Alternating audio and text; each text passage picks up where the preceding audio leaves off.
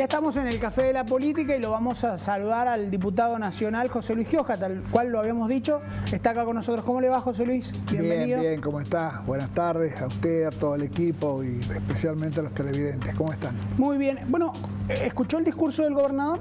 No, una parte, partecita. ¿Por? Porque estaba haciendo otras cosas, la verdad que estaba, estaba, estaba ocupado. Este, me invitó al vicegobernador a concurrir, no, pude ir porque, a ver, las aglomeraciones un poco las estoy evitando, ¿no? las estoy tratando de evitar. Y, conozco el lugar, el espacio es chico, hay muchos invitados, hay muchos, así que decidí este, ayer estuve en la Cámara, estuve con, Juan Carlos, con, Leonardo, con, con Graciela, Seba, este, y quedamos en que, el espacio realmente es muy chico y, por ahí siempre alguna cosa puede llegar a pasar, ¿no? Bueno, estuvo en el acto de Alberto.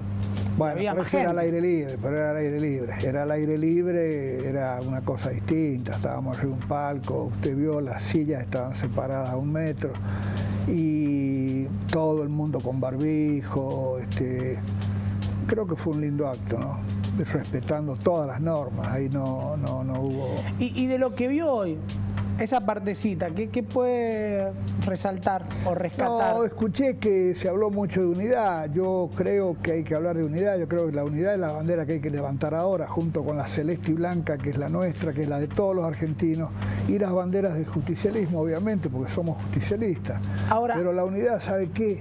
No significa que pasa por mí, este, eh, hagan lo que yo digo, no es la unidad. La unidad es tener un cachito de humildad, abrirse un poquito, escuchar, poner la oreja, ver qué dice el otro.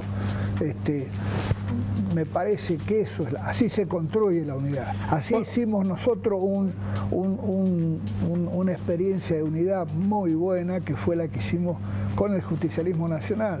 Me, voy a tomar de sus palabras y, le voy a preguntar, porque quizás yo, quizás yo entendí mal. Sí, a ver por lo que usted ha dicho, el gobernador habla de unidad, pero no busca la unididad, no escucha. De no se almuerce la cena, va muy rápido. Pero, yo le estoy preguntando lo que usted ha dicho. Tranquilo, hay que mesurar. Eh, a ver, todos caemos en esta, ¿no? Creo que también tiene algo que ver, pero es, un tema, un tema de todo. Indudablemente que él es uno de los actores principales, que tienen que entender que no es el único no es el único, hay otros actores, sectores, hay... Eh, el otro día alguien me preguntó cuál es la mejor, cuál es la mejor virtud para la, para la política, para la actividad esta que tiene que ver con, con el poder. Yo decía, miren, la, mejor virtud es la humildad, y la verdad que es la humildad, porque eh, de la humildad, del pasar por tonto se vuelve, pero de la soberbia es más difícil volver, es más difícil volver. Sobre todo en esta actividad que tiene que ver con la gente, en estos tiempos tan difíciles que vive el mundo, no le digo la Argentina, el mundo. ¿Hay una grieta en, el PJ? No, no sé si hay grieta, no, no, yo creo que no. El PJ Nacional no, en San Juan hay, hay mirada distinta, hubo una interna que este, nosotros sacamos el 32%, digo nosotros, iba Juan Carlos como candidato a presidente, yo iba en esa lista, era... era era candidato a congresal nacional, que de hecho sacamos la minoría, pero en contra del gobierno, en contra de la mercadería, en contra de la demagogia, en contra de, en contra de todas las armas que, se usaron. A ver, no es que haga crítica, son reglas de juego que por ahí el error nuestro fue no imaginar que se iba a mover todo ese aparato eh, eh, para la interna. Pero, pero cuesta imaginar que, que, con la experiencia que usted tiene no iba a pasar eso. Es decir, usted también fue gobernador y presidente del PJ y casi que siempre se respetó eso de que quien gobierna es el que conduce el Partido Justicialista. Pero siempre abrimos los brazos, siempre abrimos los brazos, siempre llamamos a todos, siempre tuvieron todos los sectores integrados. No, no, había, a ver, nosotros venimos de muy abajo, peleándola siempre. Incluso el papá del actual gobernador, en la época de Escobar, lo, pusimos nosotros, nosotros. Nosotros lo fuimos a ver porque era un comerciante próspero de Posito. Trabajamos mucho con él, yo trabajé mucho con él. Eh, Rubén fue, fue mi segundo vicegobernador, Sergio fue mi tercer vicegobernador, Rubén fue diputado nacional dos periodos consecutivos. Este, a ver, todo venía muy bien, todo. ¿Y qué pasó? la verdad que no sé, la verdad que no sé. De pronto el diálogo se cortó. A ver, pero bueno, este, yo me dediqué a mi tarea, me dediqué a mi tarea que era el PJ Nacional, estábamos realmente agobiados con algunos temas del PJ, agobiados en tarea, no, no, no agobiados en. Estábamos este, con mucha tarea. Eh, hay veces que, que sé yo, de lunes a viernes estábamos en Buenos Aires, ¿no? Este, pero, pero bueno, superamos un montón de contingencias este, adversas y pudimos este, llevarla a Cristina al partido, creo que fue lo más importante, Bien. y hacer la unidad que le dije que era la semilla grandota para hacer el frente de todo. Bien, eh, eso se lo han resaltado mucho, e incluso el, presidente el otro día. Eh, ahora, ¿qué va a hacer José Luis Gioja en esta paso? Su sector. A ver, Usted recién mencionó a varios diputados que tienen la Cámara y que responden no, a usted. No, no, nadie responde a nada. A ver, nosotros somos una parte del peronismo de San Juan que, jugamos, en, queremos jugar en, en, las mejores canchas, no, no, no queremos este, eh, nosotros tenemos un proyecto político que somos parte de ese proyecto político que lo, que lo generamos, que es obviamente el de Alberto Fernández y Cristina Fernández de Kirchner. ¿Y Duñac acá en San Juan? Mm, a ver, este, tenemos diferencia con Uñac, tenemos diferencia, pues se las tengo que decir, no, si no, este, hace más de un año que no, no, no, hay, no hay un diálogo con él. Si yo le digo que, que Uñac en San Juan, a ver, lo que sí digo es que Uñac fue parte indisoluble de nuestro equipo en algún momento, ¿no? Salió un poco de nosotros, lo, trabajamos muchísimo. Yo me acuerdo todavía cuando allá por el 2003 no estaba el Coco, ya se había ido, pobre, ya, ya estaba. Lo fuimos a buscar a, Sergio para que sea intendente, no quería, no quería, no quería, y le dijimos, no, tenés que ser, tenés que ser y tenés que ser. Y la verdad que bueno, fue intendente, sí. Este, trabajó bien, fue un buen intendente, dos veces intendente. No puedo decir nada cuando fue vicegobernador, la verdad que no puedo decir nada. ¿Es buen gobernador? Yo creo que, que, sí, que es buen gobernador. Sí, yo habría algunas cosas por ahí que, que, que, tiene que ver con la personalidad de cada uno, ¿no? Pero, este, a ver, no es. Los trapos se lavan adentro de la casa, no, no. Bien. Se lavan adentro, no se lavan afuera. ¿Va a presentar lista o no? A ver, todo depende de cómo se dé, de cómo tiene que pasar todavía mucha agua bajo el puente, tiene que definirse la fecha de las pasos porque hay una propuesta, creo que se lo dije a usted, una propuesta de correr la fecha de elección general de octubre a noviembre, con lo cual se correría todo el calendario. De agosto a septiembre también. Porque la ley dice que el último domingo de octubre o el cuarto domingo de octubre deberá ser, deberá, dice no debería, deberá ser la elección nacional cuando hubiese elección nacional, para legislador o para presidente. Hay que modificar eso, pasarlo a noviembre, que se puede hacer. Incluso se puede modificar el calendario de las pasos reduciéndolo, con lo cual se puede ganar más de un mes para llegar bien en la primavera con... Bien. Esto por una cuestión sanitaria. Ahora, lo mejor no hubiese sido suspender las pasos y listo. Mire, este, primero la oposición no quiere, no quería, no, no, quería por nada del mundo, en un año electoral no se puede, no se puede cambiar semejantes reglas, ¿no? Yo siempre digo que las pasos vinieron para democratizar los partidos políticos, ¿no? Porque no es lo mismo una paso que una interna. En una interna son 29.500 afiliados los que eligen, en el caso nuestro, y en una paso son un padrón de 400.000 personas las que votan. Es distinto. Eh, la democracia tiene costos, por supuesto que tiene costos, porque es la democracia. Este, ante el autoritarismo era muchísimo ¿vale ese costo en la situación en que está Argentina pagar tantos millones para hacer una paso en esta situación de pandemia? No se puede comparar, no se puede comparar. No puede faltar recursos para luchar contra la pandemia. De hecho, no están faltando. Es decir, salen de donde tengan que salir. No, no hay vacunas en el mundo. No me diga que no hay vacunas en la Argentina. Bueno, en, Estados Unidos sobran y están regalando. Pero porque los países centrales se han quedado con las vacunas. No sé si vio el cuadrito ese que dice que el 18% de los países del mundo tienen el, 90% de las vacunas. Eh, la verdad que esto está pasando porque el mercado se está metiendo en la vacuna. No obstante, hoy, hoy o mañana está llegando un millón de vacunas de China. Ya hay 7 millones de vacunas en la Argentina. Ya ese argumento se va, se va. Ahora las vacunas están compradas. Argentina compró las Sputnik, las compró. Argentina compró 3 millones de vacunas con, con China. Argentina iba a arreglar con Pfizer y Pfizer, sacamos una ley en el Parlamento para poder arreglar con Pfizer. Y, Pfizer se hizo un lado, este, no, no se hizo un lado. Tienen compromiso con las potencias grandes. Los países en vías de desarrollo estamos complicados. Hay países que no ha llegado todavía ninguna vacuna. Ecuador ha comprado, mire, creo que 16, 17 millones de dosis de vacuna han llegado 200 mil.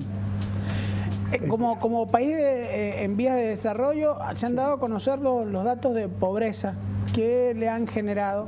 Y mucha angustia, mucha angustia como me generaba cuando aumentaba la pobreza sin tener pandemia, ¿no? Teníamos otro tipo de pandemia.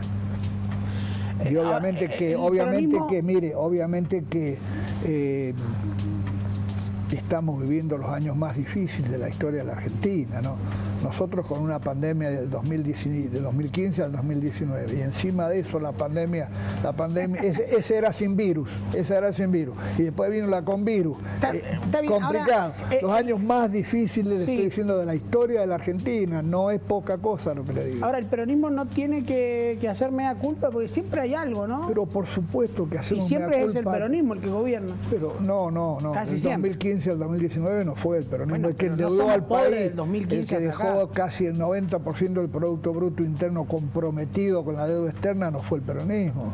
No, no, no vamos. Bien, pero había pobres antes, antes de Macri pero también. Por supuesto que sí, por supuesto que sí, porque es una cosa endémica en la Argentina, que tendremos que hacer todos los esfuerzos para eliminarlo. Mire, yo participé vía Zoom de un seminario con con el Partido Comunista Chino y con dirigentes este, chinos. China en los últimos 10 años ha sacado, escuche la cifra, 100 millones de personas de la pobreza.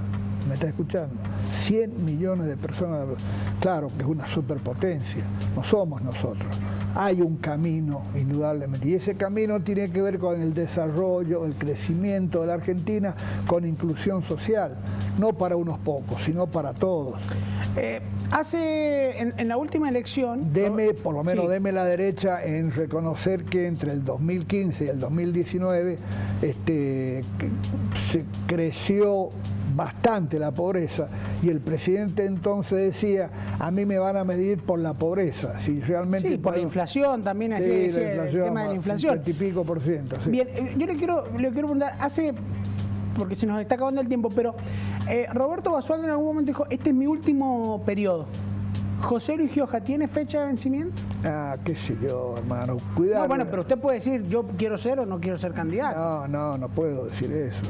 ¿Por qué no? Porque, a ver, las estrategias en política cada uno las maneja y los tiempos los maneja como uno, como uno quiere. Lo que sí yo digo es que eh, tiene que haber sangre nueva. Veo muchísima sangre nueva en el peronismo y esto es muy bueno. Veo una gran participación de las mujeres y esto es muy bueno. Pero siempre están los mismos. No, no, no, no, por lo menos que va a haber en algunos, pero hay mucha gente nueva, muchísima gente nueva. Y esto me parece bien, esto me parece bien. Bien. Yo le, digo, como para ir cortando un cachito, yo le voy a largar algunos nombres. Usted disfrute el, café de Clapton, yo le voy largando algunos nombres. Usted me dice alguna frase o qué le genera cada uno de estos dirigentes y actores políticos que, yo le voy a ir eh, mencionando. ¿Le parece? ¿Vamos a un corte? ¿O no? Cuando vos quieras. ¿Eh? le voy a preguntar uno, por lo menos, mire, le voy a preguntar dos. Pienso. Dos y Doy le pienso. Sí, eh, Doy pienso o... No, no, no, dígame, Alberto Fernández. Un dialoguista nato y un, estadista, un, alguien que va a ser un gran estadista. ¿Cristina? Una estadista y una, una militante muy inteligente. Yo le pregunto por Sergio Uñac. Usted piénselo y me lo contesta después de, la pausa, ¿le parece? Eh, después de la pausa. Hacemos un cortecito y ya regresamos en el Café de la Política.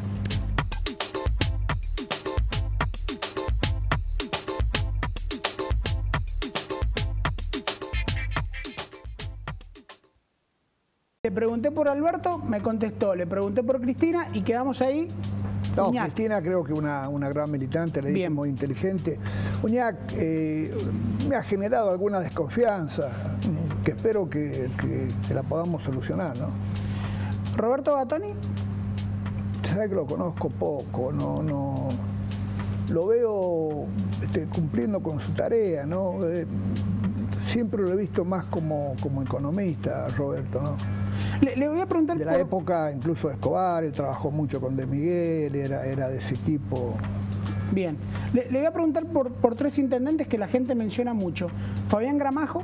Creo que es un intendente inquieto, un buen intendente. Dicen que usted camina con él.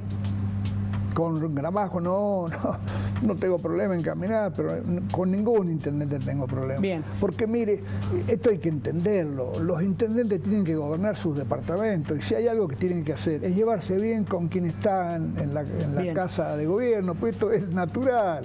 Nadie se suicida, nadie se pega, se pega un tiro en los pies. Entonces, este, esto se trata obviamente de ser inteligente y hacer las cosas, porque si no, en, estas, estas faltas de coincidencia, porque el que pierde la gente y la gente no puede perder, y a la gente le conviene siempre que hayan buenos intendentes. Eh, ¿Emilio Baestroqui? Eh, yo sería un poquito menos, un poquito más sencillo, más humilde. Bien, ¿Rubén García? Creo que es un buen intendente. Bien. Y, el último dirigente, hay que preguntar a alguien de la oposición, Marcelo Reo. Eh, es alguien que, bueno, que, siempre flota, siempre está, por ahí no tiene muchas definiciones, pero eh, es alguien con capacidad, con mucha capacidad de trabajo que, bueno, que hoy es un poco la cabeza de la oposición. No, le pregunto por Macri porque recién ya, ya dijo demasiado. inacción, eh, eh, inacción. Eh, José Luis le... Reposera, le diría yo. Reposera. Bien, ¿quién manda en el gobierno, Cristina o Alberto? Los dos. Alberto ah, No pueden mandar los dos. No, no, pero déjeme que termine. Alberto manda en el Ejecutivo y Cristina manda en el Senado. hermano, es un equipo de gobierno, no nos comamos esto que dice la oposición, sobre todo la oposición dura, de que hay pelea, de que hay... No hay pelea. Eh, unidad no es uniformidad, lo hemos dicho muchísimas veces. El peronismo, y se lo reitero, no es un colegio de señorita, podemos discutir muchas cosas y podemos no estar de acuerdo, pero las discutimos. Pero son mentiras que, hay pullas entre Alberto, Cristina, no son lo mismo, pero tiran juntos. Bien. José Luis, muchas gracias. No, gracias a ustedes.